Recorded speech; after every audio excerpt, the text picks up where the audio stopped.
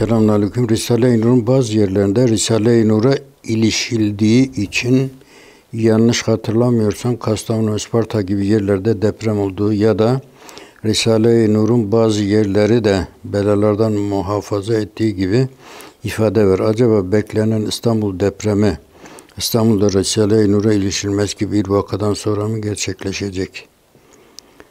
Kim bekliyor bu İstanbul depremini ve kim söylüyor?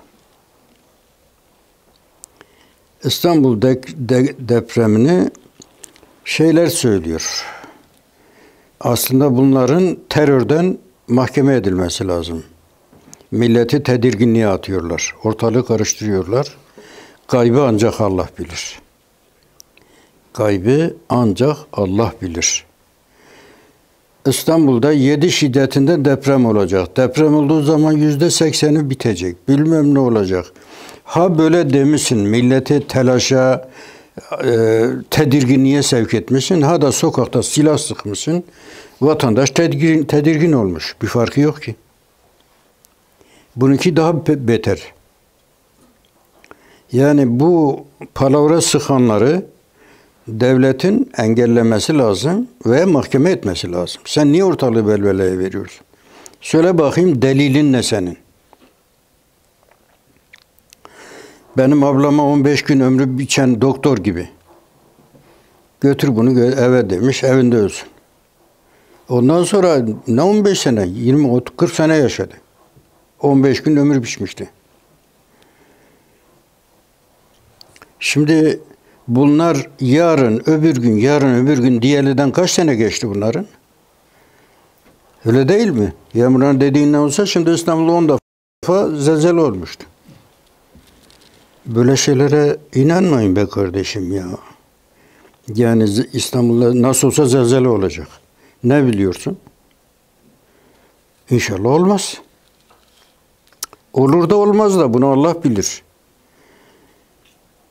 Zelzeleyi önceden tespit eden bir cihaz var mı? Yok. Hüseyin Üzmez Allah rahmet etsin. Herhalde eee 10 saniye falan evvelinden haber veren bir cihaz bulunmuş o zaman.